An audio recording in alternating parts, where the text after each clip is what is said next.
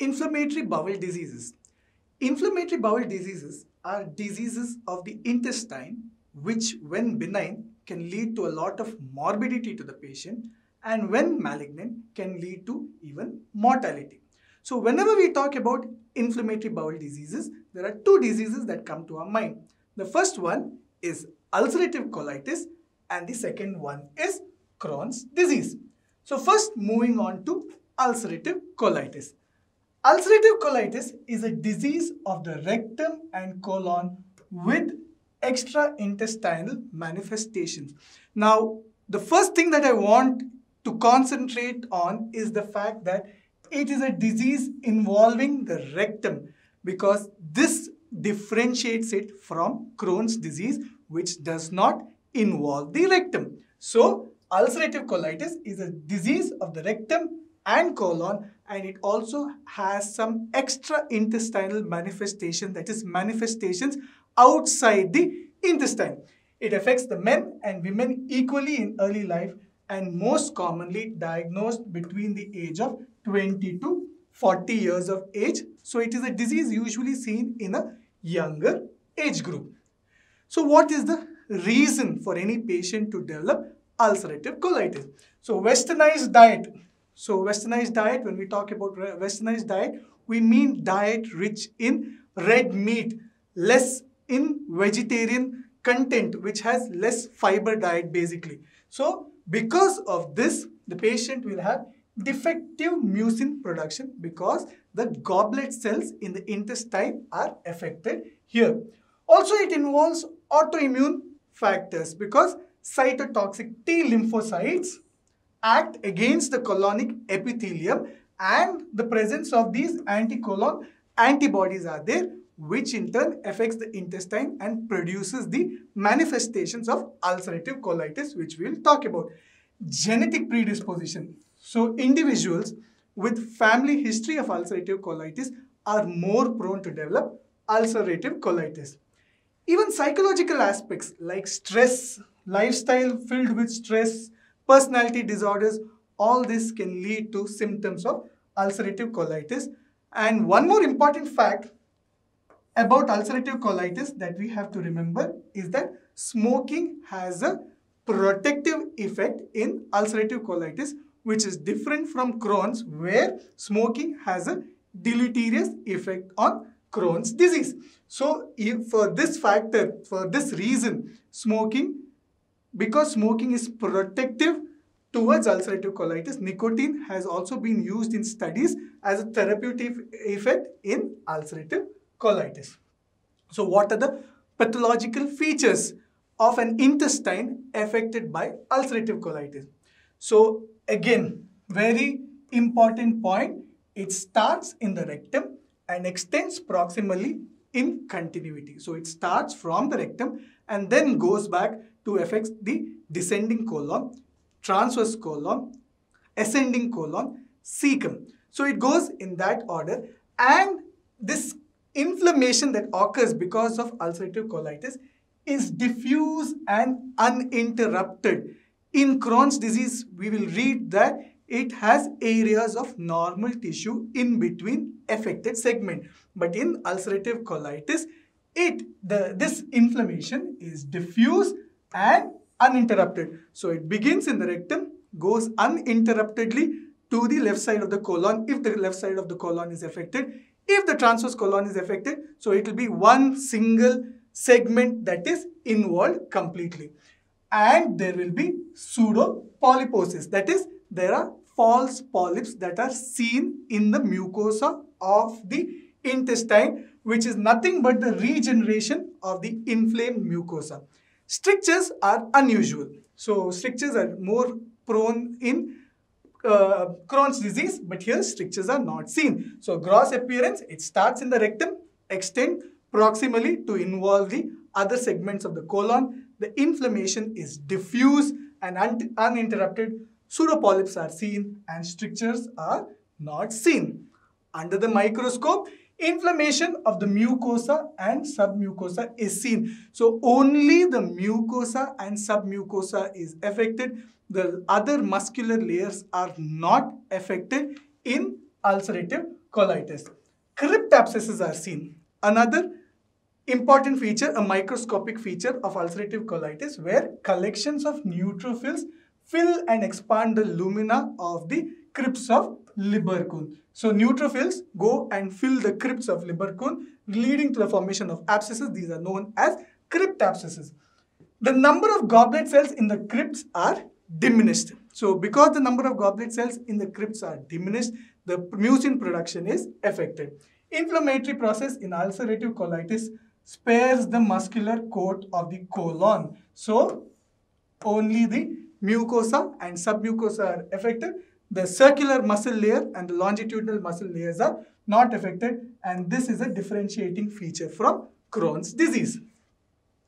Next, we move on to the clinical features. So, a patient presenting with ulcerative colitis, since the inflammation is beginning from the rectum, the patient will have history of passage of mucus and blood in stools. So, first it begins in the rectum then it goes on to become left-sided colitis and causes severe total proctocolitis. Proctocolitis, rectum and colon. So watery diarrhea is present. Patient can have mucus and blood stain discharge per rectum.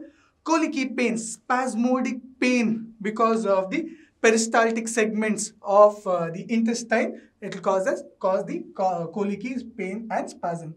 Patient will have decreased appetite and weight loss and relapses and remissions are very common. Patient will be treated for ulcerative colitis, gets uh, healed for some time but again comes back with repeated symptoms. Based on the clinical features, based on the number of stools passed, the patient will be divided into mild, moderate, severe and fulminant. So first one is mild. So number of stools. It is based on the number of stools that the patient passes per day and the other manifestation. So mild, less than 4 stools daily with or without bleeding. So very simple. Your patient who comes with features of ulcerative colitis is categorized as mild if he passes less than 4, four stools per day with or without bleeding, no, no other signs of toxicity. A patient with ulcerative colitis comes with more than 4 stools daily, few signs of systemic illness like anemia, then he is categorized into moderate. So here what happens is patient passes more than 4 uh, stools uh, per day, may have blood in stools that will lead to anemia, systemic illness. Severe more than 6 stools per day. So here patient will have 6 bloody stools. So there will be blood in stools because there is more than six blood, uh, bloody stools, patient will have systemic illness like fever, tachycardia, anemia, and raised inflammatory markers and uh, decreased albumin, that is hypoalbuminemia. And last one is fulminant. Here the patient will have more than 10 bowel movements. Systemic illness will be present and the colon might be hugely dilated leading to the formation of toxic megacolon where the diameter is more than 6 centimeters of the intestine. So these are the colonic manifestation. Ulcerative colitis affects the colon and also has manifestations outside the colon, what is called as the extra-intestinal manifestation. So what are those? First one is patient will have along with the bloody stools, along with the diarrhea, along with anemia, patient will have arthritis affecting the knees, hips, shoulders. So arthritis. Ankylosing spondylitis, more prevalent in patient with family history of ankylosing spondylitis. Erythema nodosum. So here patient will have erythema, redness, nodosum, nodules, multiple skin nodules with uh, redness, inflammation all over the body. And then there will be pyoderma gangrenosum. So, pyoderma gangrenosum is a condition where the skin gets necrosed leading to the formation of ulcers and in, in uh, ulcerative colitis, these features of pyoderma gangrenosum are seen more in the pretibial region. So the extraintestinal manifestations will be arthritis, ankylosing spondylitis, erythema nodosum and pyoderma gangrenosum. So how do you diagnose? You are suspecting that the patient has come with ulcerative colitis based on the symptoms, the extraintestinal manifestations. How do you diagnose it as a case of ulcerative colitis? So first one is patient will have diffuse confluent symmetrical disease from the dentate line proximally. So already extensively explained. So the mucosal appearance when a sigmoidoscopy or a proctoscope is put into the anal canal, there will be the normal vessel, loss of normal vessel pattern within the rectum secondary to the edema. Because of edema, there will be stretching of the uh, mucosa and submucosa of the rectum and the intestine. So the normal vessel pattern is lost. Frank ulceration, there can be multiple ulcers in the intestine and pseudopolyps. So ulcers with mucosa regenerating in between the ulcer leading to the formation of pseudopolyps. So features are similar, uh, features similar to those of ulcerative colitis in Crohn's, but in Crohn's, the rectum is spared in 40% of the patient, even in the presence of perianal disease. What it means is that in ulcerative colitis, rectum is involved, but there will not be any perianal fistula. On the other hand, in Crohn's disease, the rectum is not involved, but will have perianal fistulas. Multiple mucosal biopsies every 10 centimeters are taken and stool samples sent for bacteria, ova and parasites. So once the sigmoidoscope is passed, the ulcers are seen, the loss of vascular pattern is seen, multiple biopsies are taken every 10 centimeters and then you have to grade the ulcerative colitis. It is graded based on if it, the mucosa appears normal, it is 0. Loss of vascular pattern because of edema will be grade 1. Granular non-friable mucosa. The mucosa appears granular but it is non-friable. That is when you touch it, it doesn't bleed. When the scope touches the mucosa, it doesn't bleed. Then it is grade 2. Friability on rubbing. That is when the uh, the scope touches the mucosa, it starts bleeding, then it is grade 3. Spontaneous bleeding, you just pass the scope, you're visualizing the entire uh, rectum and uh, colon, but you see continuous bleeding. Then it is grade 4 along with ulceration. This is the sigmoidoscopic grading. Next comes barium enema. So barium is given, the barium contrast is given per rectally. So here, what is seen commonly in ulcerative colitis is toxic megacolon. Here the colon gets hugely distended. Diameter becomes more than 6 centimeters. There will be loss of the haustration of the colon. So that is one of the features of ulcerative colitis. It is one of the emergencies in ulcerative colitis.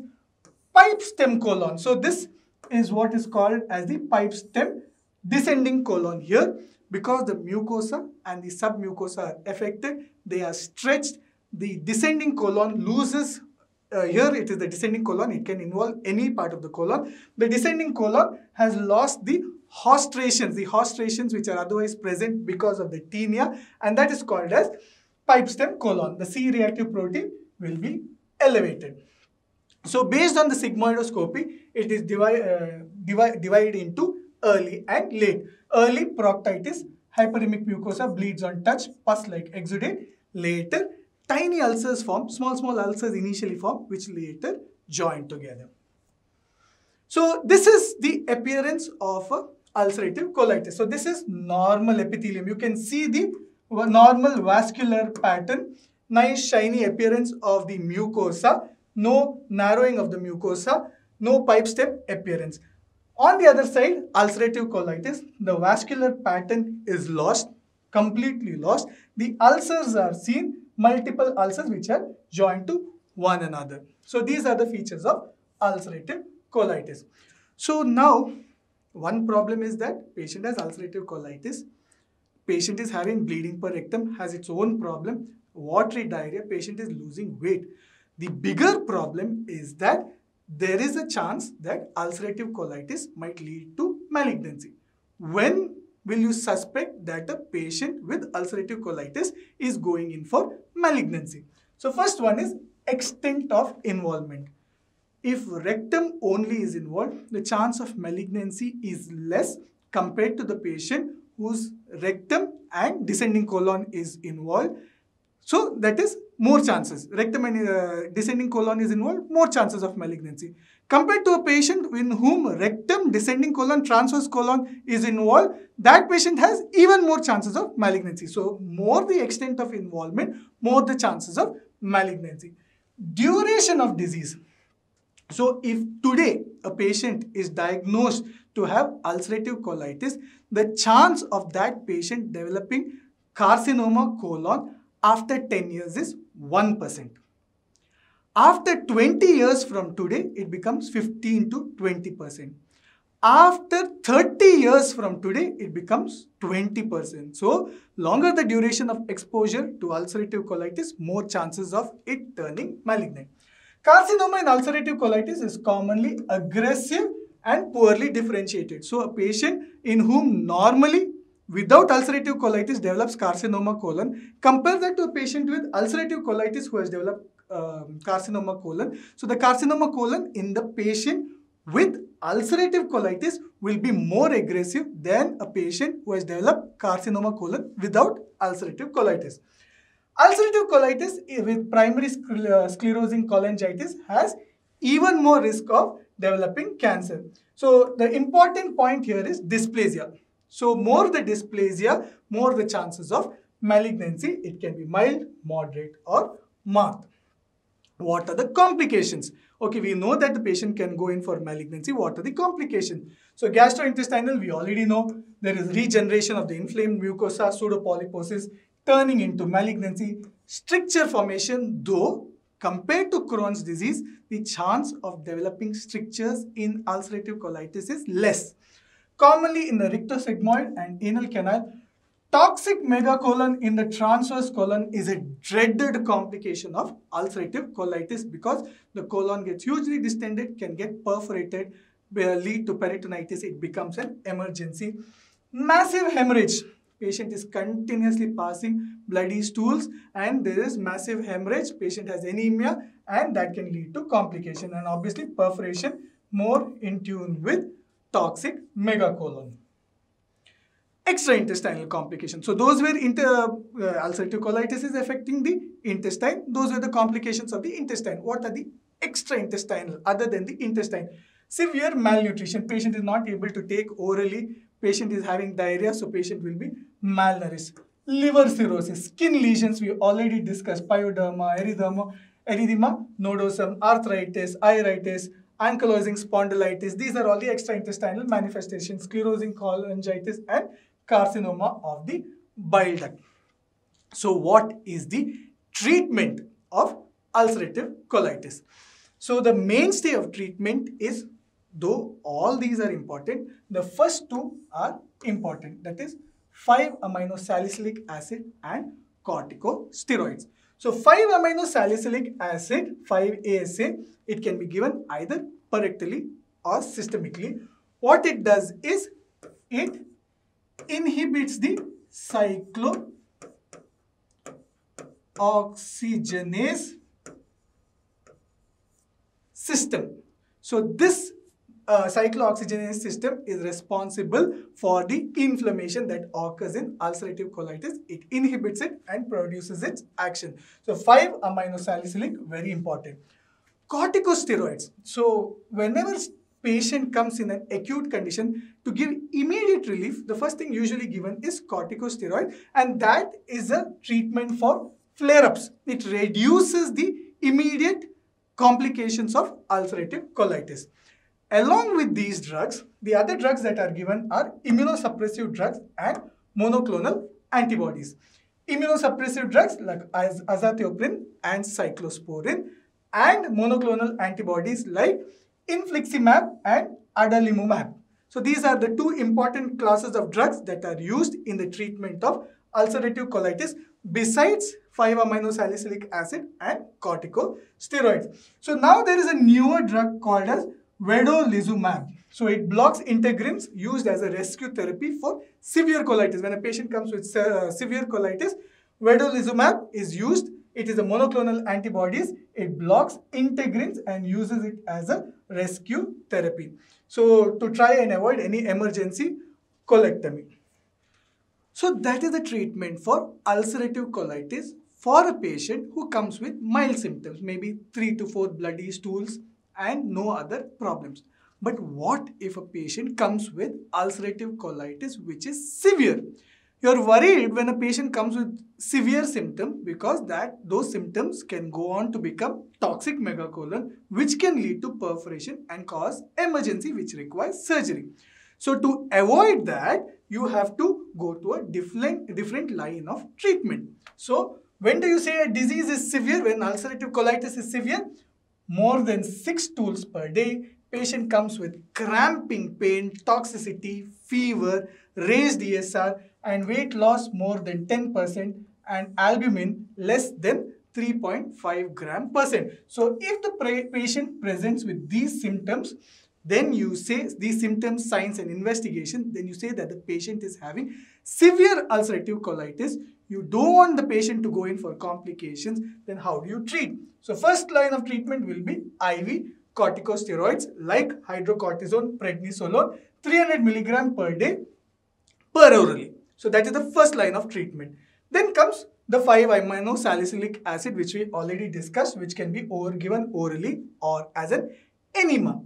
Fluids have to be started since the patient is having severe symptoms, severe diarrhea, loss of blood, the patient will be dehydrated. So patient has to be admitted, fluid and electrolyte management has to be done. Patient may not be able to take orally at all for 3 to 4 days and so to maintain nutrition, patient may even require TPN, total parenteral nutrition. Proper monitoring of the vitals of the patient and all this if it is done properly, hopefully we can avoid an emergency surgery.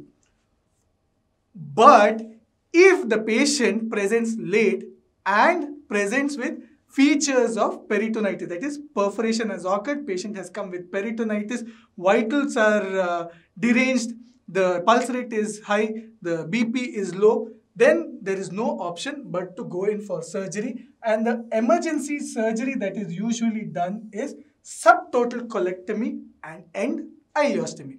So subtotal colectomy is removal of the part of a colon which is involved, which is perforated maybe resection of that part and then bring the ileum out at the right iliac fossa so that whatever the patient eats comes out through that. That is the ileostomy. Because once you resect a part of the colon, in an abdomen which is infected because of fecal matter, the fecal matter has come into the peritoneal cavity. If you try to anastomose the two ends of the bowel, the two resected ends of the bowel, that anastomosis can give way in the post-operative period. That is why to avoid that complication, the part of the bowel that is involved is resected and an ileostomy is done so that whatever patient eats can come can come out through the ileostomy and when the patient is better once the patient has been given adequate IV fluids patient has taken enough orally probably after a month or so the re-anastomosis of the cut ends of the large intestine can be done so the rectosigmoid stump is left long and can be either brought out as a mucus fistula or closed just below the skin. So one part of the intestine is resected, ileostomy is brought out, the distal part of the colon is there. So the part which is distal to the part resected. Proximal is brought out as a stoma. Distal can either be left long, can be brought out as a mucus fistula. So that fistula will be producing mucus or it can be closed. The advantage of bringing out a mucus fistula is the anastomosis later can be done without doing a complete laparotomy. That the advantages are uh, it avoids a pelvic operation when the patient is unwell. You don't want to do an extensive surgery when the patient is not well, especially when the patient has perforated. Colonic histology can be assessed. So some part of the colon has been resected, sent to the histopathologist. Histopathologist will see it under the microscope and confirm it to be ulcerative colitis and restorative surgery can be done at a later date. Rectum should not be stapled off in the pelvis as that can get stuck to the other structures in the pelvis and later for the second surgery it becomes very difficult to find that stapled rectum And the advantage of mucus fistula is that it will not cause that mucus fistula, the distal part of the rectum can have a blowout because of mucus. It can lead to the formation of abscess. So instead of that, the mucus can keep coming out through the fistula. So that is about the emergency surgery when the patient has brought in a very bad condition. When will you plan an elective surgery for a patient with ulcerative colitis? So a patient who was put on medical therapy for ulcerative colitis, was started on 5-amino salicylic acid, was started on corticosteroids, was started on um, the other drugs that are required for ulcerative colitis, but has not responded. Instead, the patient has become dependent on steroids. Patient who is having growth retardation. Ulcerative colitis is seen in younger age group, usually in uh, around 20. So the patient is not taking orally patient will have growth retardation. So in those patients, you will plan a surgery, elective surgery. Extra-intestinal diseases, the skin lesions, the uh, polyarthropathy, pyoderma gangrenosum is so extensive that the patient cannot survive normally with the disease. Then um, a definitive surgery is required. And when that uh, part of the colon that is involved by ulcerative colitis is removed, even these diseases, the extra-intestinal manifestations respond and the symptoms come down. And to avoid malignant changes, obviously you don't want it to go and become malignant. So inside all these patients, you will plan an elective surgery. So what are the different surgeries done? The first surgery done, elective surgery, can be the same surgery done for emergency. That is subtotal colectomy and ileostomy. The problem is here the patient will have an ileostomy. So the patient has to pass stools in a bag attached to the abdomen. Second one is proctocolectomy and permanent endileostomy. Here the patient, the colon is involved, the rectum is involved. So the entire rectum and colon is removed and the patient will have a permanent endileostomy. There is no question of uh, anastomosing the bowel, the distal end, proximal end, nothing is there.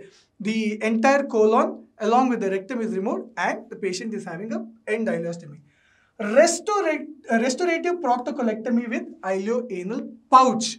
So here the rectum is removed, the colon, some part of the colon is removed and then an ileoanal pouch. The anal canal is attached to the ileum by making the ileum into a pouch so that in that pouch fecal matter will accumulate for some time and the patient can pass stools. That is rather than directly patient continuously having the urge to pass stools, here a pouch is actually created where the patient will pass stools. And last option is subtotal colectomy with ileorectal anastomosis. So some part of the colon which is affected by the disease is removed and then the colon is anastomosed to the rectum. So by these surgical procedures, what comes to your mind is that the choice of surgical procedure depends on the extent of the intestine involved by ulcerative colitis. So segmental resection, small, small resection, anastomosis, different parts of the rectum and anal canal are not recommended. So in subtotal colectomy, like I said, what was done in emergency, the pro, it is usually done in a frail, frail patient Patient who cannot be weaned off steroids when there is doubt as to whether the colitis may be Crohn's disease. So in such cases, subcolectomy, uh, subtotal colectomy with ileostomy is done. So a pouch, a completion proctectomy or even ileorectal anastomosis can be thought of at a later date. Proctocolectomy and ileostomy. So here, like I said, the entire rectum and uh, intestine is involved, colon is involved nothing can be done. Everything has to be resected and an permanent ileostomy is done. So removes all the colon and rectum, permanent stoma, lower complication rate uh, com uh, compared to a pouch procedure. Pouch procedure has its own problem which I'll tell now. Restorative proctocolectomy with ileoanal pouch. Probably uh, one of the best looking surgeries for ulcerative colitis because you're removing the problematic part of the rectum. You're removing the problematic part of the colon. You are creating a pouch from the ileum and that pouch is anastomosed to the anal canal. So, the patient is free of disease, plus the patient doesn't have a stoma. So pouch is made out of ileum as a substitute for the rectum and soon or stapled off to stapled to the anal canal. It avoids a permanent stoma which is one of the best things that you can give the patient that is no stoma. Reserved for patients with adequate anal sphincter and Crohn's disease is ruled out. Very important to uh, rule out Crohn's disease because then even the ileum can be involved in Crohn's disease. The types of pouches done from the ileum are J, S and W. So this is the J pouch. So you can see one loop of ileum has come. The other loop has come here. The two parts are anastomose and this becomes the pouch where the fecal matter will accumulate for some time and then that is anastomose to the anal canal. So this is the uh, J pouch. This is the S pouch and this is the W pouch. The basics uh, principle uh, idea is that in J pouch, the amount of fecal matter that accumulates is less. In S pouch, it is slightly more and W pouch, it is more. So the longer it remains there, the lesser times the patient has to go to the bathroom to pass stools. Colectomy and ileorectal anastomosis. Again, a surgery which looks very good for ulcerative colitis. Colectomy, part of the colon is removed. Here, the rectum at the time of surgery is disease free. So you you can think of doing a uh, ileum, uh, anastomosing the ileum to the rectum. So the stoma is eliminated. Colectomy, colon is removed. Ileum is anastomosed to the rectum. But remember one important point here ulcerative colitis is a disease which can involve the rectum. So you are taking a chance by anastomosing the ileum to the rectum. So that rectum which you have anastomosed the ileum to can develop ulcerative colitis at a later date and then the whole anastomosis will go in for a toss. So performed if there is minimal rectal inflammation, avoid stoma. Since rectum is preserved, annual rectal inspection is advised so that the patient does not develop complications. Complications, pelvic infection. Rectum is involved. There can be accumulation of pus that can lead to abscess formation. Post-operative small bowel obstruction. So you are using the ileum to do pouch, um, pouch surgeries. So that can lead to small bowel obstruction. Increased frequency, urgency and fecal incontinence if the pouch is smaller or if there is no pouch like in ileorectal anastomosis where the ileum directly empties into the uh, rectum or anal canal then there is increased frequency pouchitis so that pouch the j pouch s pouch or w pouch that you have created can have inflammation and then when it gets inflamed inflamed it is called as pouchitis when it gets inflamed it gets irritated and then it passes stools continuously like diarrhea. So that is called as pouchitis. So with this, we will summarize ulcerative colitis as it is the inflammation involving the colon and rectum. Rectum, rectum, rectum, rectum, rectum, rectum. Rectum is involved in ulcerative colitis. Associated with extraintestinal manifestations like arthritis, pyoderma gangrenosum, erythema nodosa. Increased risk of colon cancer. Longer the duration of exposure to ulcerative colitis, more the chances of developing um, carcinoma colon. 10 years, 1%, 20 years, 10 to 15%, 30 years, 20%. Medical treatment is by 5-amino-salicylic acid, corticosteroids, immunosuppressive drugs, and monoclonal antibodies. And the surgical treatment can be emergency surgery and elective surgery emergency surgery is subtotal colectomy with ileostomy and besides that the other elective surgeries are proctocolectomy with permanent end ileostomy, restorative proctocolectomy with ileoanal pouch and subtotal colectomy with ileorectal anastomosis. So with that we have discussed in brief about ulcerative colitis.